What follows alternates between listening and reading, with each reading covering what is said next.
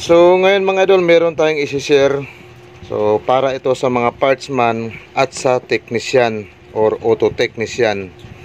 So halimbawa yung alternator natin ay ganitong klase. ah, Vios, ah, mga Fortuner, ah, madalas yan, Avanza. So kung bibili tayo ng carbon brass, halimbawa ganito, ayan, ah, wala na, paliti na.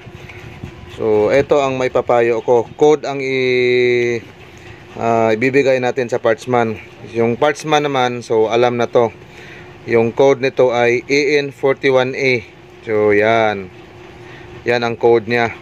So, ito yung kanyang carbon brass. Oh. Papakita natin. Yan, nasa gilid.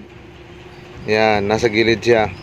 So, pag kinabit yan, swak na swak dito sa kanyang brass holder. So, yun ang ating maisishare ngayon.